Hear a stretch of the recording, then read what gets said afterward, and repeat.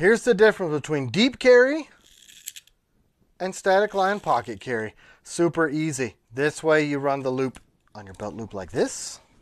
Tuck it under your belt loop. Stick your sheath back through. That's it. So then you've got shorter, so you don't have to make any cuts, any adjustments to your chain. You pull that out, that pops right out. So then we'll reverse that and go back to deep. So then we have it long. All you do is pull one loop out. Now you've got deeper.